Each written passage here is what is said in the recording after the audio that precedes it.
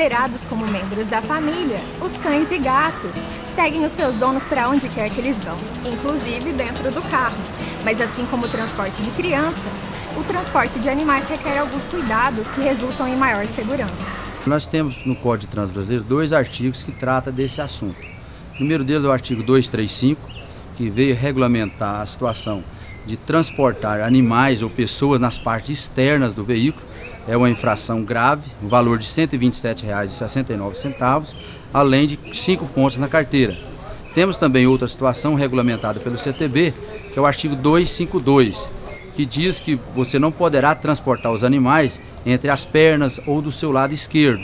É uma infração média, nós temos aí um valor de R$ 85,19, né? inclusive é, no artigo 235, é, cabe também com medida administrativa a retenção do veículo até fazer a, o transbordo dessa carga de forma adequada. Carregar os animais soltos dentro do veículo é uma atitude a ser evitada, mas essas normas nem sempre são seguidas e muitos motoristas ainda insistem em transportar animais no colo, entre as pernas ou na janela do veículo. A forma correta de transportar esses animais é, primeiramente, sendo que eles eles estejam acoplados ao cinto de segurança, tá bom?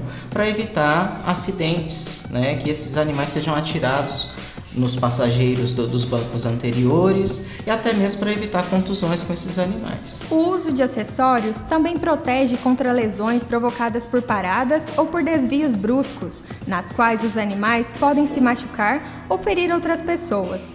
Para se ter uma ideia, em caso de acidente, se o carro estiver a 50 km por hora, com um cachorro de 25 kg, por exemplo, ele será arremessado com um peso de mais de meia tonelada.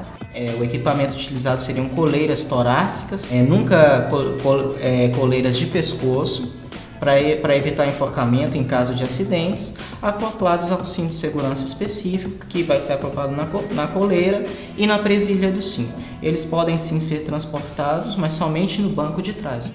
Bom, esse daqui é outro equipamento, outro item de segurança para você poder transportar seu animalzinho com mais segurança. É um equipamento que, limitado ao peso, normalmente para animal até no máximo 2 kg, tá? Pode ser utilizado para felinos, também para caninos. É uma cesta de transporte.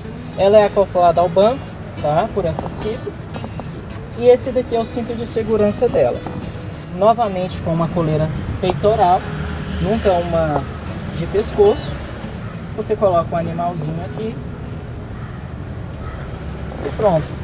O animal de grande porte ele pode sim ser transportado no banco de trás também. Inclusive existem acessórios, capas para, banco, para o banco de trás, pode ser forrado, até porque é um animal que ele tem mais salivação, perde mais pelo. Também acoplado ao cinto de segurança. Trajetos longos pedem pausas a cada duas ou três horas para que os cachorros possam se movimentar, esticar as patinhas e também fazer suas necessidades fisiológicas.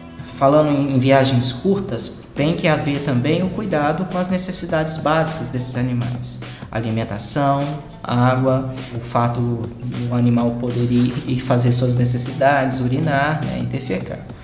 Em viagens longas o cuidado é redobrado. Você vai ter que fazer pausas periódicas. Esses animais eles vão ao banheiro com mais frequência do que a gente e tem uma necessidade por perderem calor pelo sistema respiratório tem necessidade de beber água com mais frequência que a gente. As paradas eu recomendo ali entre duas horas e três horas para cada animal, porque eles realmente têm essa necessidade maior de ir ao banheiro, até mesmo para evitar a fadiga, a fadiga do animal e um, um certo desconforto por ele.